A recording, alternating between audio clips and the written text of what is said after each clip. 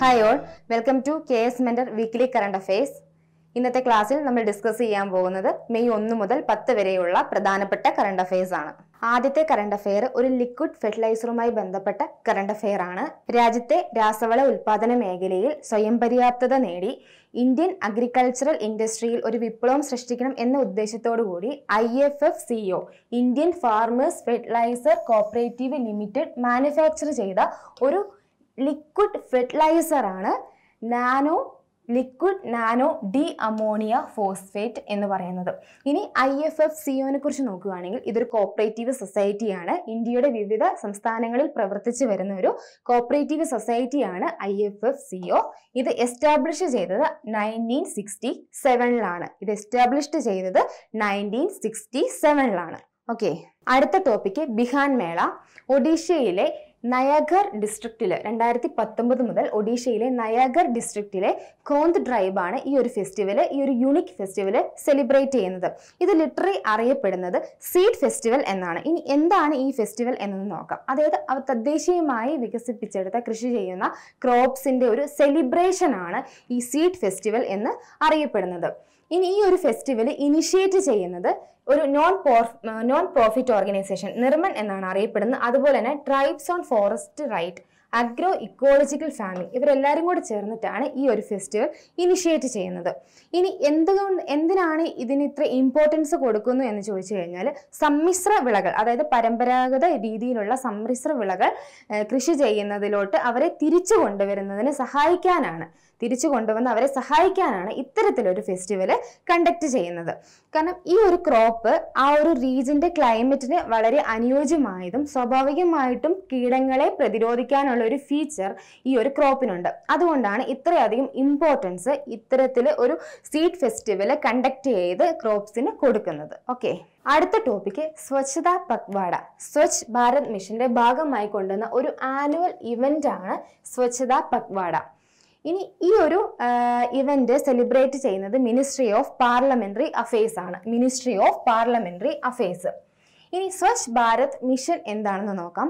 മഹാത്മാഗാന്ധിയുടെ ഡ്രീം ആയിരുന്ന clean and hygiene India achieve ചെയ്യാൻ വേണ്ടി സെൻട്രൽ ഗവൺമെന്റ് കൊണ്ടുവന്ന ഒരു ഫ്ലാഗ്ഷിപ്പ് സ്കീമാണ് സ്വച്ഛ് ഭാരത് മിഷൻ ഇനി ഈ ഒരു ഈവന്റ് ഈവന്റിന്റെ അണ്ടറിൽ വരുന്ന ആക്ടിവിറ്റീസ് എന്തൊക്കെയാണെന്ന് നോക്കാം. Cleanliness drive reviewing and weeding out of old physical files identify old obsolete items for auction cleaning of electrical switch boards fans A C അതായത് ശുചിത്വ റാലി. അതോടൊപ്പം വേണ്ടതും വേണ്ടാത്തതായ ഫയൽ കണ്ടെത്തി തരംതിരിക്കുന്നത്. കാലഹരണപ്പെട്ട വസ്തുക്കളെ ലേലത്തിന് പിന്നെ ലേലത്തിൽ ഉൾപ്പെടുത്തുന്നു. അതുപോലെ തന്നെ switch boards fan A C ഇവയുടെ എല്ലാം ക്ലീനിങ് വൃത്തിയാക്കൽ ഇത്തരത്തിലുള്ള കാര്യങ്ങളാണ് ഈ ഇവന്റുമായി ബന്ധപ്പെട്ട് നടക്കുന്നത്. ഓക്കെ അടുത്തത് ചീഫ് എക്കണോമിസ്റ്റ് ഔട്ട്ലുക്ക് റിപ്പോർട്ട് ഇത് റിലീസ് ചെയ്യുന്നത് വേൾഡ് ഇക്കണോമിക് ഫോറം ആണ്. കറണ്ട് ഇക്കണോമിക് സിറ്റുവേഷൻസിനെ കുറിച്ചുള്ള ഒരു ഓവർ വ്യൂ ആണ് ഈ report Jio economic geo political events കാരണം ഒരുപാട് ആഘാതങ്ങൾ നമ്മുടെ കറണ്ട് ഇക്കണോമിയെ ബാധിച്ചിട്ടുണ്ട്. അത് മനസ്സിലാക്കി പോളിസി മേക്കേഴ്സിന് ബിസിനസ് ലീഡേഴ്സിന് അത് മനസ്സിലാക്കി കൊടുക്കാൻ വേണ്ടിയിട്ട്. അതായത് ഈ ആഘാതങ്ങൾ സംഭവിച്ചേക്കുന്ന ഏരിയ ഹൈലൈറ്റ് ചെയ്ത് അവർക്ക് മനസ്സിലാക്കി കൊടുക്കാനും അതിനെ അതിനെതിരെയുള്ള സൊല്യൂഷൻസും കാര്യങ്ങളും എടുക്കുവാൻ വേണ്ടി അവരെ സഹായിക്കുന്ന ഒരു റിപ്പോർട്ടാണ് ചീഫ് എക്കണോമിസ്റ്റ് ഔട്ട്ലുക്ക് റിപ്പോർട്ട് ഇത് റിലീസ് ചെയ്യുന്നത് വേൾഡ് ഇക്കണോമിക് ആണ്. ഓക്കെ അടുത്ത ടോപ്പിക്ക് ഹാക്കിങ്ങുമായി ബന്ധപ്പെട്ട ഒരു കറണ്ട് അഫെയർ ആണ്. ബ്ലൂ ബഗിംഗ് എന്നാണ് അത് അറിയപ്പെടുന്നത്. റീസെന്റ്ലി ആന്ധ്രാപ്രദേശിലെ പ്രകാശം ഡിസ്ട്രിക്റ്റിൽ ഇത് റിപ്പോർട്ട് ചെയ്തിട്ടുണ്ടായിരുന്നു. അതായത് ബ്ലൂടൂത്ത് കണക്ഷൻ ഓൺ വഴി ഓൺ ചെയ്യുന്നത് വഴിയാണ് ഈ ഒരു ഹാക്കിങ് സംഭവിക്കുന്നത്.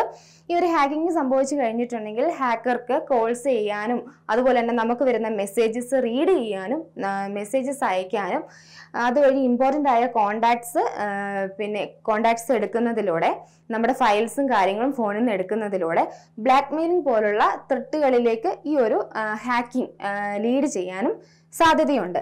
ഇനി ഇത് വളരെയധികം ഡേഞ്ചറസ് ആയിട്ടുള്ളൊരു പിന്നെ ഹാക്കിംഗ് ആണ് ഈ ബ്ലൂ ബഗിംഗ് എന്ന് പറയുന്നത്. ഇത്തരത്തിലുള്ള ഇൻസിഡൻസ് ഒഴിവാക്കാൻ വേണ്ടിയിട്ട് എന്തൊക്കെ ചെയ്യാൻ പറ്റും എന്നുള്ളത് നമുക്ക് നോക്കാം. അതായത് ബ്ലൂടൂത്ത് പേ ഡിവൈസ് ഡിസേബിൾ ചെയ്യുക. അതുപോലെ തന്നെ നമ്മുടെ സ്മാർട്ട് ഫോണിൽ സിസ്റ്റം സോഫ്റ്റ്വെയർ അപ്ഡേഷൻ റെഗുലർ ആയിട്ട് അപ്ഡേഷൻ കൊടുക്കുക. അതേപോലെ തന്നെ ഓപ്പൺ വൈഫൈ റെസ്ട്രിക്റ്റ് ചെയ്യുക. വി പി എൻ പോലുള്ള additional layer of security induct ചെയ്യുക. ഉപയോഗിക്കാത്ത സമയത്ത് ബ്ലൂടൂത്ത് സെറ്റിംഗ്സ് ഓഫാക്കിയിടുക ഇത്രയധികം കാര്യങ്ങൾ ചെയ്തു കഴിഞ്ഞാൽ ഒരു പരിധിവരെ നമുക്ക് എന്താണ് ഇത്തരത്തിലുള്ള ഹാക്കിങ്ങിൽ നിന്ന് നമുക്ക് പിടിച്ചു നിൽക്കാനായിട്ട് സാധിക്കും. ഓക്കെ അടുത്ത current affair first ever millets experience centre launch ചെയ്തിട്ടുണ്ടായിരുന്നു. ഇത് ലോഞ്ച് ചെയ്തത് Ministry of Agriculture and Farmers Welfare collaborated with National Agriculture Cooperative Marketing Federation of India National Agriculture Cooperative Marketing Federation of ഇന്ത്യയുമായി ചേർന്ന് Ministry of Agriculture and Farmers Welfare ആണ് ഇത്തരത്തിലൊരു centre launch ചെയ്തേക്കുന്നത്.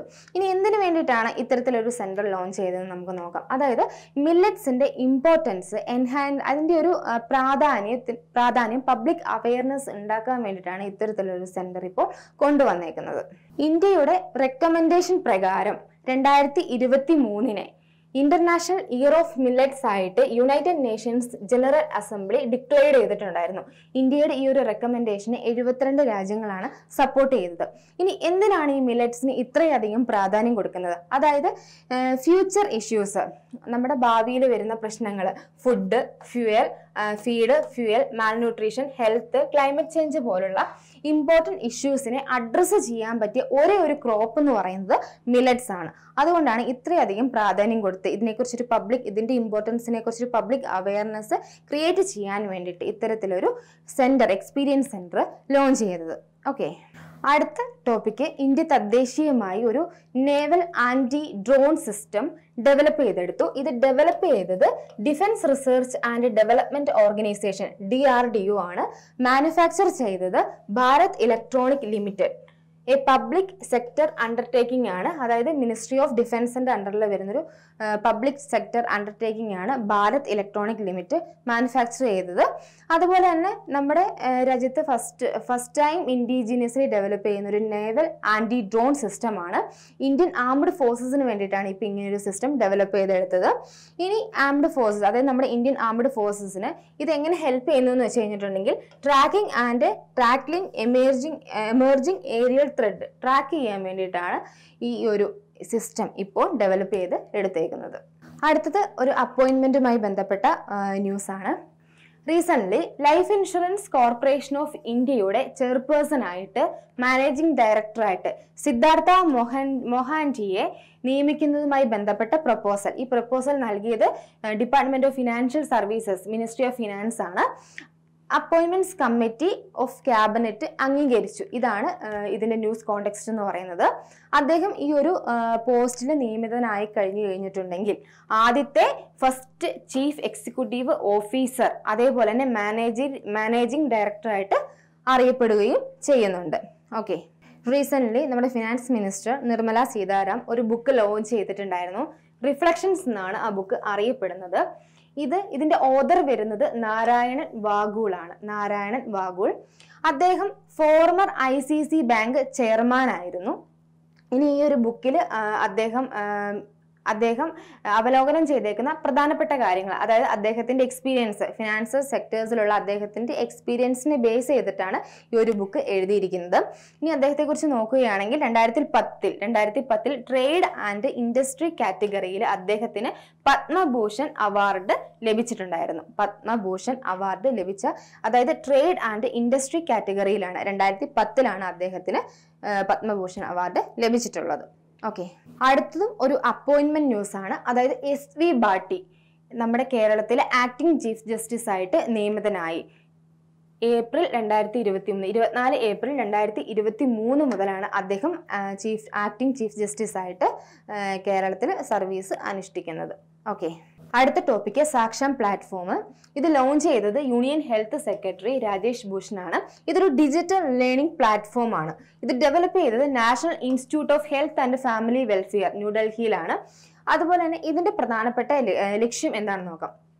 Health care പ്രൊഫഷണൽസിന് medical education training കൊടുക്കാൻ വേണ്ടിയിട്ടാണ് ഇത്തരത്തിലൊരു digital learning platform ഇപ്പോൾ കൊണ്ടുവന്നിട്ടുള്ളത്. ഓക്കെ അടുത്ത ടോപ്പിക്ക് ഒരു ബുക്കുമായി ബന്ധപ്പെട്ടതാണ്. ബുക്ക് അറിയപ്പെടുന്നത് മെയ്ഡ് ഇൻ ഇന്ത്യ ഇത് അമിതാഭ് കാന്തിന്റെ ബുക്കാണ് seventy five years of business and enterprises made in India seventy five years of business and enterprises അദ്ദേഹം ഒരു റിട്ടയർഡ് ഐ എ എസ് ഓഫീസറായിരുന്നു അതുപോലെ തന്നെ നിതി ആയോഗിന്റെ ചീഫ് എക്സിക്യൂട്ടീവ് ഓഫീസറായിട്ടും അദ്ദേഹം സെർവ് ചെയ്തിട്ടുണ്ടായിരുന്നു.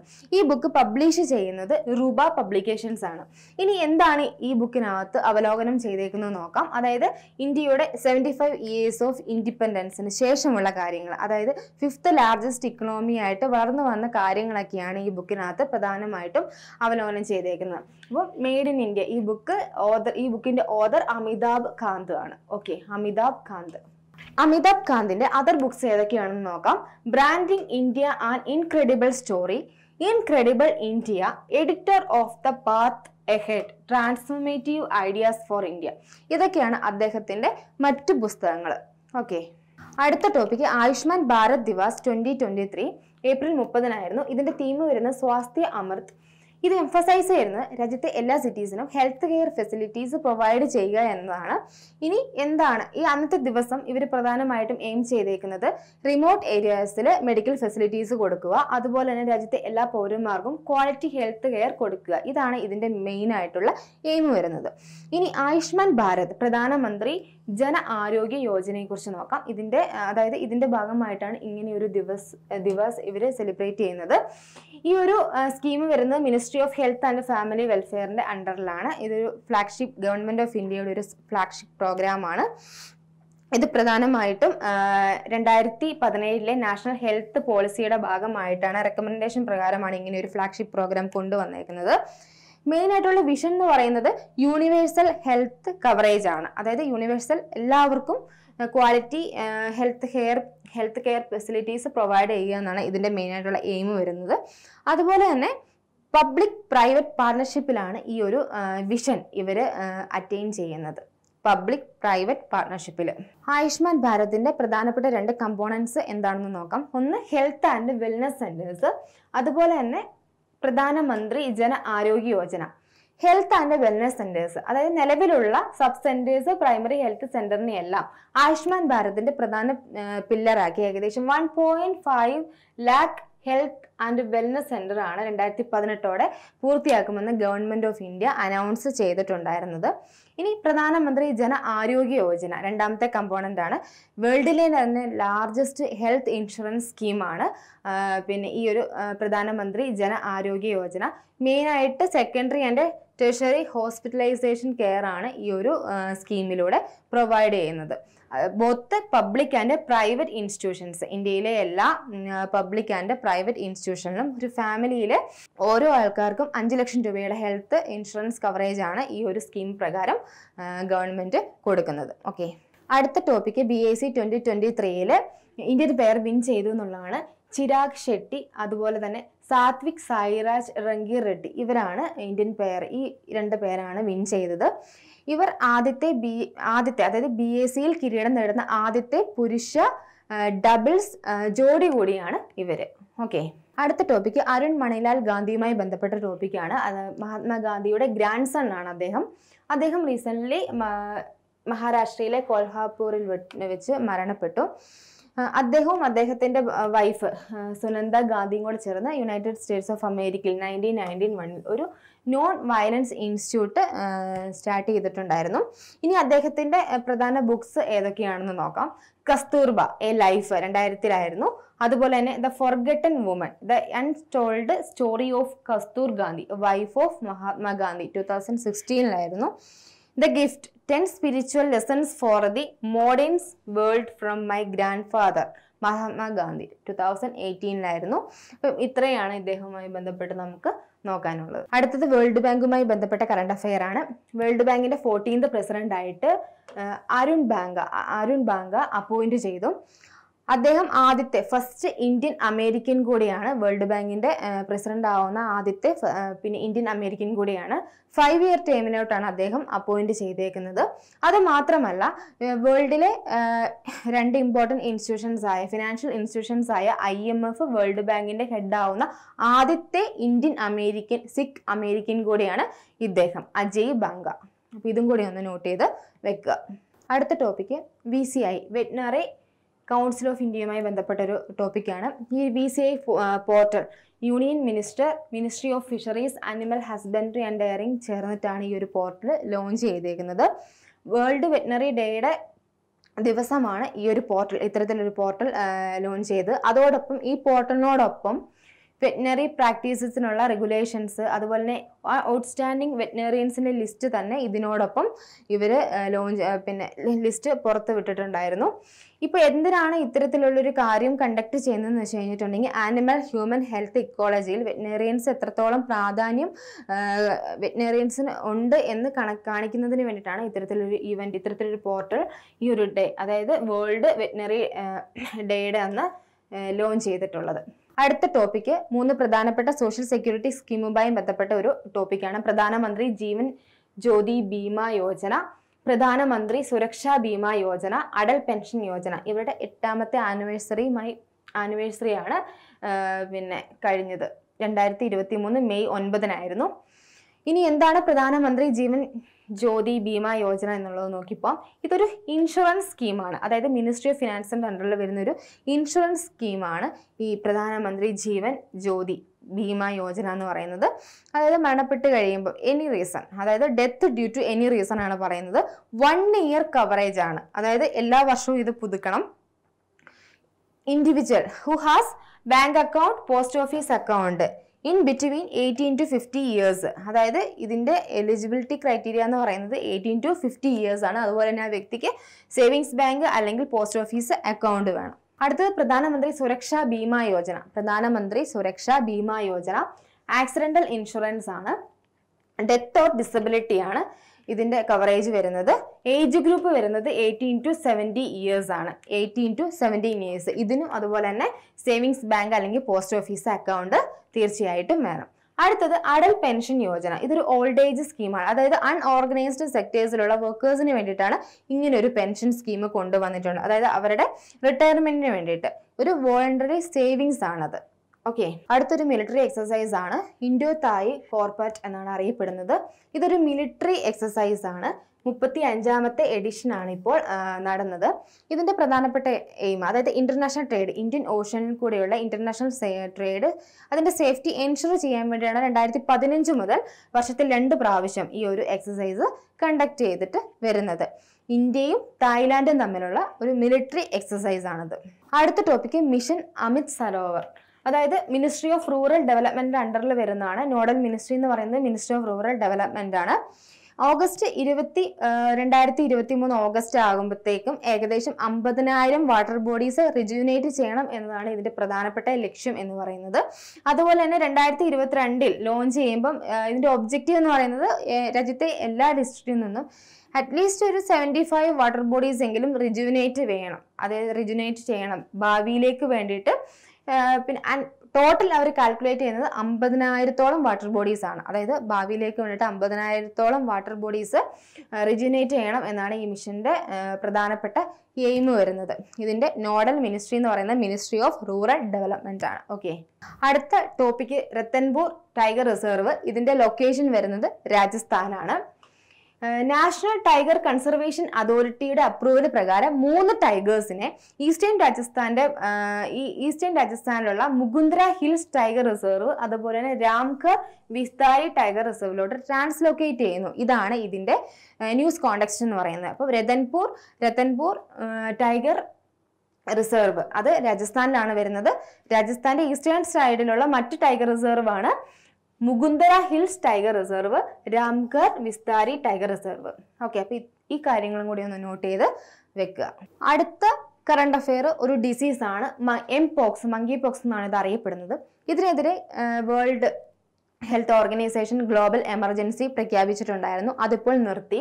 രണ്ടായിരത്തി ഇരുപത്തിരണ്ടിൽ ഏകദേശം എൺപത്തേഴായിരം ആൾക്കാരെയായിരുന്നു ഇത് അഫക്റ്റ് ചെയ്തിട്ടുണ്ടായിരുന്നു ഇത് സ്പ്രെഡ് ചെയ്യുന്നത് ഇൻഫെക്റ്റഡ് ആയിട്ടുള്ള ഇൻഡിവിജ്വൽ അതുപോലെ ആനിമൽസുമായി ക്ലോസ് കോണ്ടാക്ട് വരുമ്പോഴാണ് ഈ ഒരു ഡിസീസ് സ്പ്രെഡ് ചെയ്യുന്നത്. അതുപോലെ തന്നെ ഇതിന്റെ സിംറ്റംസ് എന്ന് പറയുന്നത് fever rashes swollen lymph nodes head aches തുടങ്ങിയ കാര്യങ്ങളാണ്. നിലവിൽ ഇതിന് ആന്റി വൈറൽ ട്രീറ്റ്മെന്റ് ഒന്നും കണ്ടെത്തിയിട്ടില്ല. ഒരു അപ്രൂവൽ ആയിട്ടുള്ള ഒരു ആന്റി വൈറൽ ട്രീറ്റ്മെന്റ് ഒന്നും നിലവിൽ ഇല്ല. ഓക്കെ അടുത്ത കറണ്ട് അഫെയർ എന്ന് പറയുന്നത് തുങ്കനാഥ ടെമ്പിളുമായി ബന്ധപ്പെട്ട ഒരു കറണ്ട് അഫെയർ ആണ്. ഈ ഒരു ടെമ്പിളിനെ ദേശീയ പ്രാധാന്യമുള്ള സ്മാരകമാക്കി മാറ്റുന്നതിന് ആർക്കിയോളജിക്കൽ സർവേ ഓഫ് ഇന്ത്യ കേന്ദ്രത്തിന്റെ അനുമതി തേടിയിട്ടുണ്ടായിരുന്നു. ഇതാണ് ഇതിന്റെ ന്യൂസ് കോണ്ടെക്സ്റ്റ് എന്ന് പറയുന്നത്. ആയിരം വർഷം പഴക്കമുള്ള ഈ ഒരു ടെമ്പിൾ കണ്ടെത്തിയത് പാണ്ഡവ ബ്രദേഴ്സ് ആയിരുന്ന അർജുനാണ് ഏകദേശം പന്ത്രണ്ടായിരം അടി ഉയരത്തിലാണ് ഇത് സ്ഥിതി ചെയ്യുന്നത്. വേൾഡിലെ തന്നെ ഹയസ്റ്റ് ശിവ ടെമ്പിൾ കൂടിയാണ് ഈ തുങ്കനാഥ ടെമ്പിൾ എന്ന് പറയുന്നത്. ഇത് അറിയപ്പെടുന്നത് തൃതീയ കേദാർ എന്നാണ്. അത് മാത്രമല്ല പഞ്ചകേദാറിന്റെ പഞ്ചകേദാറിലുള്ള ഒരു ടെമ്പിൾ കൂടിയാണ്. മറ്റു ടെമ്പിൾസ് എന്ന് പറയുന്നത് കേദാർനാഥ് മാധമഹേശ്വർ തുംഗനാഥ്. ഇപ്പൊ നമ്മൾ പറഞ്ഞത് രുദ്രനാഥ് കൽപ്പനാഥാണ് പഞ്ചകേദാറിൽ ഉൾപ്പെടുന്നത്. അതുപോലെ തന്നെ ഇത് ഗാർവാൾ ഹിമാലയസിലാണ് ഈ ടെമ്പിൾ എല്ലാം പിന്നെ ലൊക്കേറ്റ് ലൊക്കേറ്റ് ചെയ്യുന്നത്. ഈ തുങ്കനാഥ ടെമ്പിൾ ലൊക്കേറ്റ് ചെയ്യുന്നത് ഉത്തരാഖണ്ഡിലെ രുദ്രപ്രയാഗ് ഡിസ്ട്രിക്റ്റിൽ അതായത് ഗാർവാൾ ഹിമാലയസിലാണ് ഇത് വരുന്നത്. ഓക്കെ അടുത്തത് ഓസോൺ പൊല്യൂഷൻ ഡൽഹിയിലെ പൊല്യൂഷന്റെ പ്രധാന കാരണം എന്ന് പറയുന്നത് ഓസോൺ ആണ്. ഓസോൺ രണ്ട് തരത്തിലുണ്ട്. അതായത് അപ്പർ അറ്റ്മോസ്ഫിയറുള്ള ഓസോൺ ഉണ്ട്. എർത്തിന്റെ അപ്പർ അറ്റ്മോസ്ഫിയറിലുള്ള ഓസോൺ ഉണ്ട്. അത് സ്ട്രാറ്റോസ്ഫെറിക് അല്ലെങ്കിൽ ഗുഡ് ഓസോൺ എന്നാണ് അറിയപ്പെടുന്നത്. ഗ്രൗണ്ട് ലെവലിലുള്ള ഓസോൺ ഉണ്ട്. ഇവിടെ പൊല്യൂഷൻ ആവുന്നത് ഗ്രൗണ്ട് ലെവലിലുള്ള ഓക്സോൺ ആണ്. ഇനി എങ്ങനെയാണ് ഈ ഒരു ഓക്സോൺ ഈ ഗ്രൗണ്ട് ലെവൽ ഓസോൺ ഉണ്ടാവുന്നത് നോക്കാം. അതായത് സൺലൈറ്റിന്റെ പ്രസൻസിൽ നൈട്രജൻ അതുപോലെ തന്നെ വോളറ്റൈൽ ഓർഗാനിക് കമ്പൗണ്ട്സ് റിയാക്ട് ചെയ്യുമ്പോഴാണ് ഈ ഗ്രൗണ്ട് ലെവൽ ഓസോൺ പിന്നെ ഉണ്ടാകുന്നത് അത് മാത്രമല്ല ഈ എന്നോക്സ് അതായത് ഫോസിൽ ഫ്യൂയൽ വെഹിക്കിളിൽ നിന്നും ഇൻഡസ്ട്രിയിൽ നിന്നും ഫോസിൽ ഫ്യൂയൽസ് കമ്പസ്റ്റ് ചെയ്യുമ്പോഴാണ് ഈ എന്നോക്സ് എന്നോക്സ് നൈട്രജൻ അന്തരീക്ഷത്തിലേക്ക് റിലീസ് ആവുന്നത്. അത് മാത്രമല്ല വിൻഡ് വിൻഡിന് ഈ ഒരു ഓസോണിനെ ഒരുപാട് ദൂരത്തേക്ക് കൊണ്ടുപോകാനും പറ്റും. ഇതുമൂലം ഉണ്ടാവുന്ന ഡിസീസ് അതായത് ബ്രീത്തിങ് പ്രോബ്ലംസ് ട്രിഗർ ആസ്മ അതുപോലെ ലെങ് ഫങ്ഷൻ ഡി റെഡ്യൂസ് ചെയ്യുന്നതിനെല്ലാം ഈ ഗ്രൗണ്ട് ലെവൽ ഓസോൺ ഒരു കാരണമാവും. ഓക്കെ അടുത്ത ടോപ്പിക്ക് ബാന്ധവ്ഗർ നാഷണൽ പാർക്ക് ഇതിന്റെ ലൊക്കേഷൻ വരുന്നത് മധ്യപ്രദേശാണ്. ഇനി ഇതിന്റെ ന്യൂസ് കോണ്ടക്സ്റ്റ് നോക്കാം. ആയിരത്തി അഞ്ഞൂറ് വർഷം പഴക്കമുള്ള റോക്ക് പെയിന്റിങ്സ് അതുപോലെ തന്നെ ആയിരത്തി എണ്ണൂറ് രണ്ടായിരം വർഷം പഴക്കമുള്ള manmade water bodies recent discover ചെയ്തിട്ടുണ്ടായിരുന്നു. ഇനി ഒരു നാഷണൽ പാർക്കിനെ കുറിച്ച് നോക്കുകയാണെങ്കിൽ ഏറ്റവും കൂടുതൽ tiger population tiger highest density ഉള്ള ഒരു നാഷണൽ പാർക്കാണ്. അതുപോലെ തന്നെ വൈറ്റ് ടൈഗേഴ്സിന്റെ ഒരു നാച്ചുറൽ ഹബ്ബ് കൂടിയാണ്. ഇനി ഇതിന്റെ ടോപ്പോഗ്രാഫി എന്ന് പറയുന്നത് hills valley rivers marshes meadows ഒക്കെയാണ് ഇതിന്റെ ടോപ്പോഗ്രാഫി എന്ന് പറയുന്നത്. അതുപോലെ തന്നെ evergreen sal forest mixed forest ആണ് ഈ ഒരു നാഷണൽ പാർക്കിൽ ഉള്ളത്. ഓക്കെ ഇതിന്റെ ലൊക്കേഷൻ വരുന്നത് മധ്യപ്രദേശാണ്.